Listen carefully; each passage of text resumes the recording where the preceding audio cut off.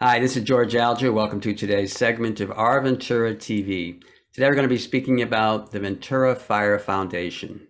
And joining us is the president of the Ventura Fire Foundation, Peter McKenzie, who is also a retired fire captain from the City of Ventura's Fire Department. Welcome, Peter. And what is the Ventura Fire Foundation?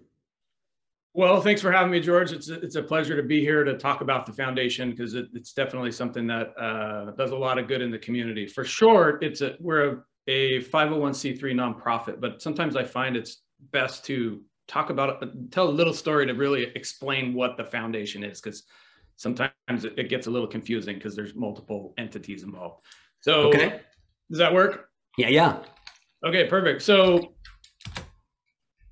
society in general, right? We we know there's certain things that need to be done for the you know the good of of the at large community. You know things like you know fighting crime, you know keeping our country safe and war, fires, wildfires, pan recently pandemics with you know medical personnel.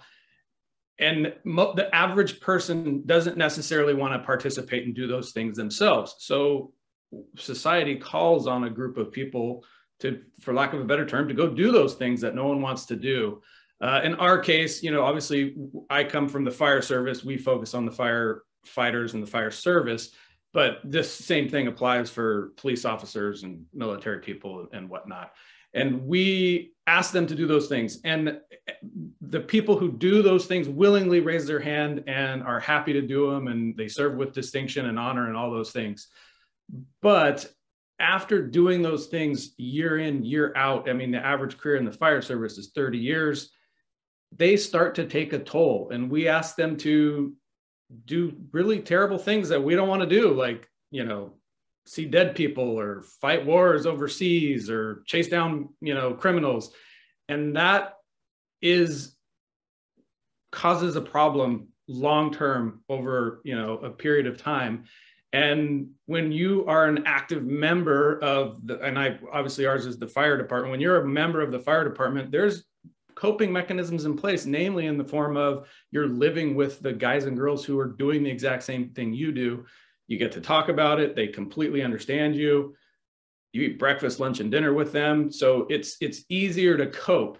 But there are certain people that over time it gets to be too much uh, I know from personal experience, I, after a while, I never wanted to see a dead person again. Like it was something I wasn't interested in maybe 10, 15 years into my career. So for those people that get into a spot where they don't know what to do or it's getting too much, that's what the foundation is there for. And more important, I mean, another part of this is once the firefighters leave the fire department, they retire that's when we see a, a, a marked increase in mental health issues.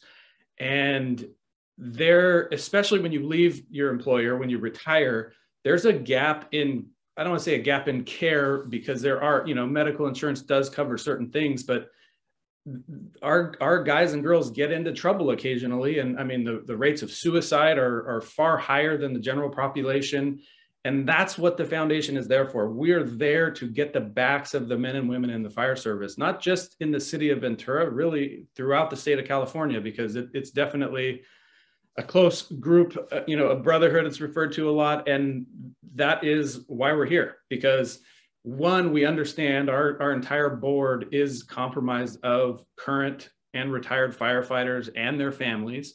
And that's our main mission is to take care of take care of the firefighters. And I'll say further, it's not just the firefighters because the firefighters' families really suffer just as much as the firefighters. I mean, you talk to any wife or spouse, it doesn't have to be a wife because there's plenty of women in the fire service, and they ask their firefighter, "Hey, how was your night?" because they know that if that night was bad, that it's not going to be the best day it could possibly be, which is not that big of a deal once in a while, but when you do that day every shift for 30 years it takes a toll. And that's what the foundation is there for. Amongst other things we do do other charitable things in the community but our primary mission is to take care of, of the firefighters when they have a time of need mainly related to these type of issues that we're talking about.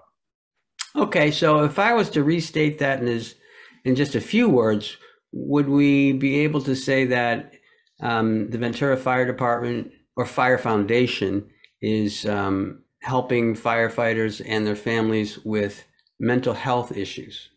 Yeah, I think broad, broadly, our mission is to to take care of the firefighters and their and their families during their times of needs because it's not always mental health. Mental health is definitely, I think, the primary um, thing that we are trying to help with.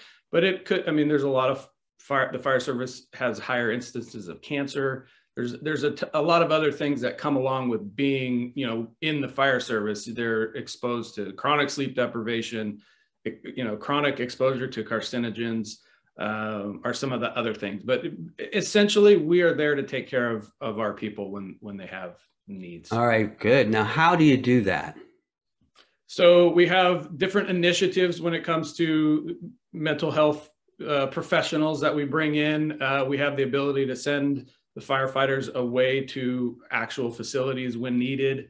Um, it could be as simple as if we have someone who's fighting cancer that we help get the family where they need to go and take care of some of those logistical things that you know when you're in a crisis you don't want to think about. So it could be you know something major to the small things that that make it better as well. But really i mean and, and a lot of the work that we do unfortunately is very expensive. And we are a you know separate entity of the fire department we don't you know, we, there is no budget line item for the, the fire foundation and any of the fire department budgets. So we rely solely on donations and we aren't able to fulfill our mission if we're not supported by the community at large.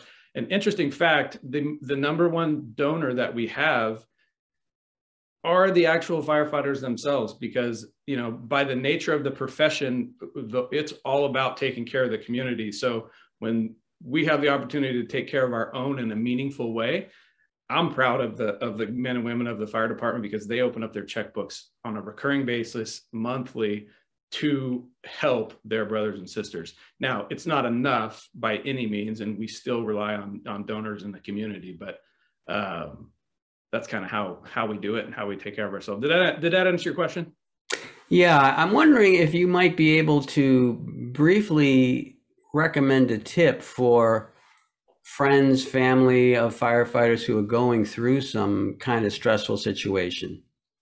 Yeah, well, one, I would say, you know, don't treat them different or like they're, you know, have the plague or illness or something. I mean, definitely keep the lines of communication open and ask them how they're doing and uh, check in with them frequently.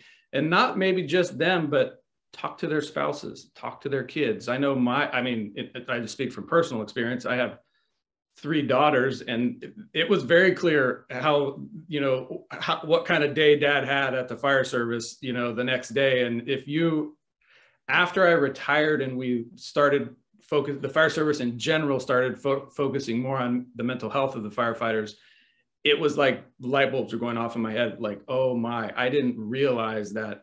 I didn't realize I was kind of a nightmare sometimes to my family when had xyz happening at work and really i wish i would have known that stuff before and anyway not to go off on a tangent on you but um, i would say just keeping the lines of communication open talking to the family and then if there you know if there's anything that looks off encouraging either you can absolutely reach out to our organization because we have access to all the resources that are available. And there are a lot of resources available. There's a lot of organizations that focus on supporting first responders, maybe not just the fire service, but like I said, law enforcement, military, and whatnot. It's just a matter of getting access to the services that are out there and then having a, a mechanism to fund them.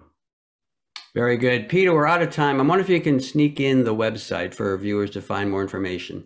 Yeah, absolutely. It's venturafirefoundation.org spelled out. Uh, take a look at our website. If, if you feel moved to support our cause, we would be very grateful of any donations uh, of any kind or of any amount that you're, you're willing to do. We will definitely put the money to good work. Peter, thank you very much. I'm going to wrap up here. My pleasure.